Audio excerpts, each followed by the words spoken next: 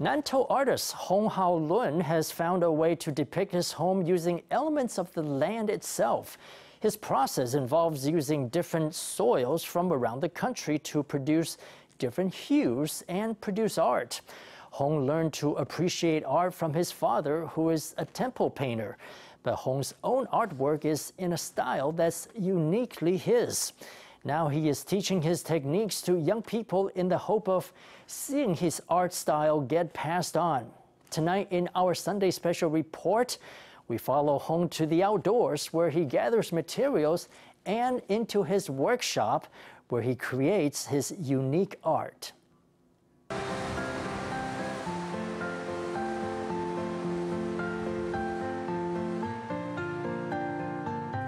At Maoluo River, where Nantou and Changhua counties meet, an artist draped in a soil-colored jacket walks toward the water, buckets in hand.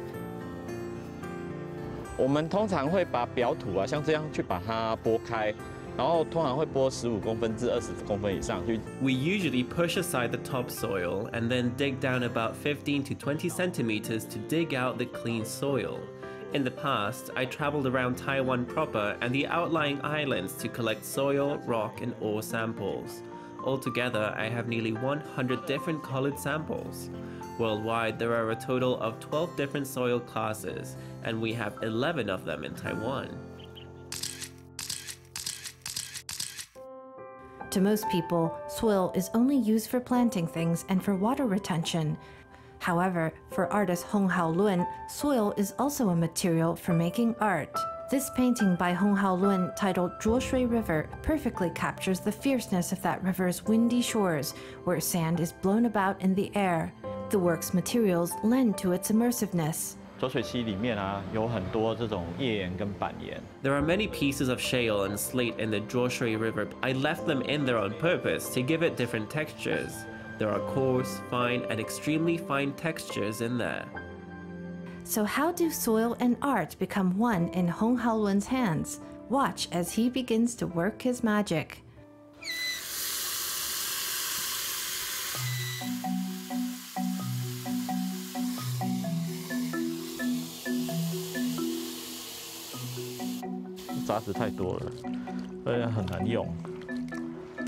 杂质太多了，所以很难用。啊，这是应该是粘板岩的，粘板岩应该是那个什么农农田土啊。After the organic matter and the large particles in the soil are separated layer by layer through sieving, a beautiful dark green begins to emerge. However, in this muddy state, the soil is not yet ready to be used for art. 把它飞出来，隔了刚刚隔了一点时间呢，它开始在沉淀了。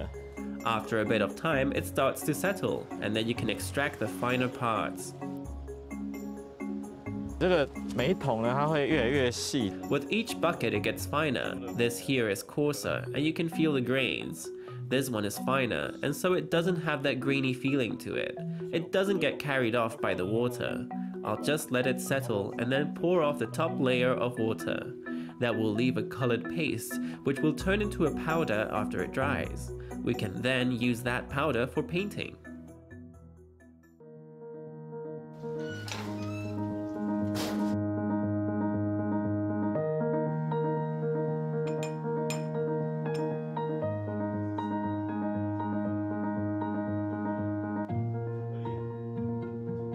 Following Hung Hao Lun into his workshop, we see pastes and powders in various colors, all extracted from soil.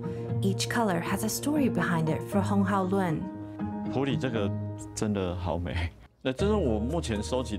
this one from Puli is really beautiful. This is the closest one in my collection to the soil in France. What makes it so precious is that it can't be collected again.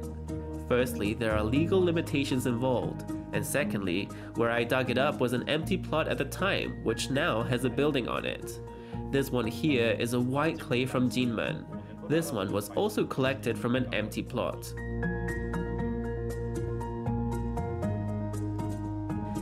However, turning soil into colored powder to be used for painting involves a degree of effort, and it's not something just anyone can do. 会不会做颜料就看动作就知道了。The ability to make a painting material from soil is all in the actions. It's like making stir-fried ice cream.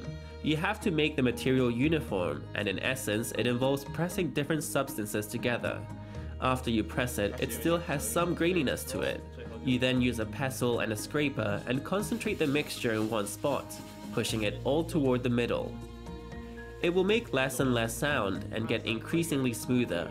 In the end, it will have a somewhat bouncier feel to it. Hung Haolun's sensitivity toward art first took root during his childhood.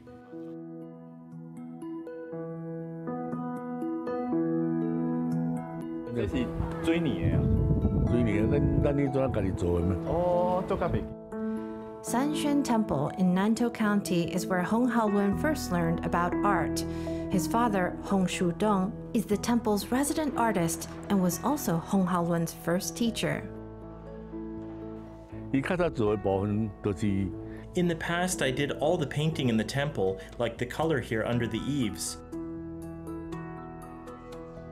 所以里面后后来有一些画呃服装啊， There are some paintings of clothing, graded clothing of deities, as well as gradated clouds, some of which I painted as well. Hung Haolun learned from his father that to be a good artist, he had to learn to do a variety of tasks, which motivated him to learn how to make his own painting materials.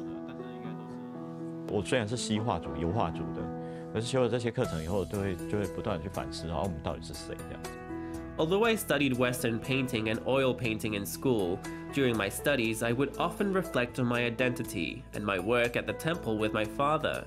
I thought about how we painted traditional subjects and questioned our use of mainstream painting materials. I thought, if I was born in and grew up in Taiwan, how should I engage in artistic creation? I was filled with doubt at the time.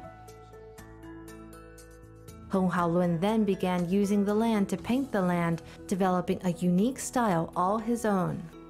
像这一幅是用宜兰去画宜兰，周遭我们用的就是宜兰它这个石头去 for example, this painting of Yilan was made using soil from Yilan. Around its periphery are stones from Yilan that were crushed into a finer texture. What the whole painting is trying to convey is a sense of Yilan's environmental factors.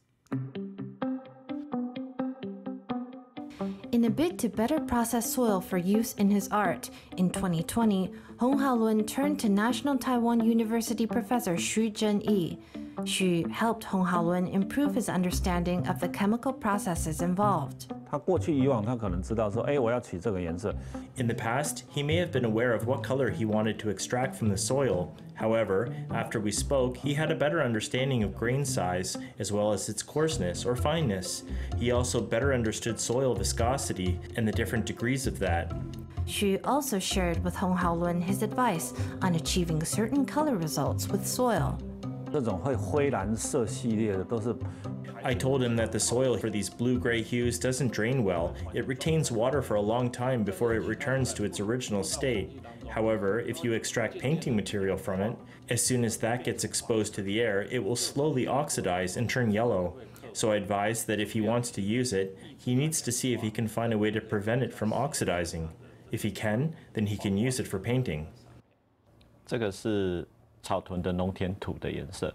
With an improved understanding involved in the processes of painting with soil, Hung Haolun decided to pass on his knowledge and techniques to young people to create the next generation of artists. On the campus of Taichung's Daming High School, Hung Haolun teaches a group of students about the soil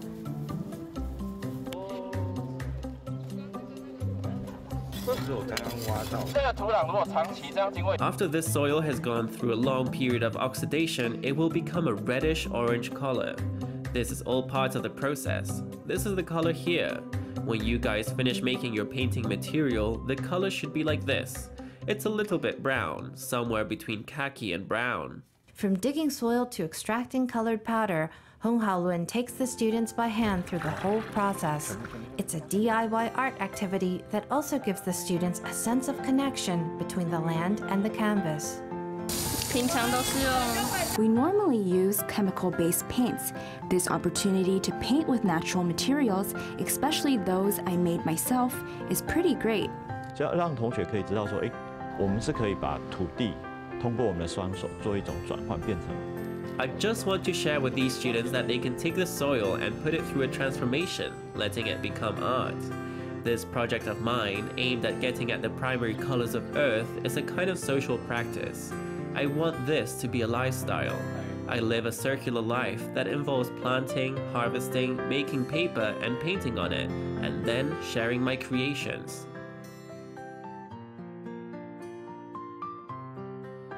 Integrating art and land, Hung Hao Lun uses Taiwan to depict Taiwan and shares his island home in a way that's all his own.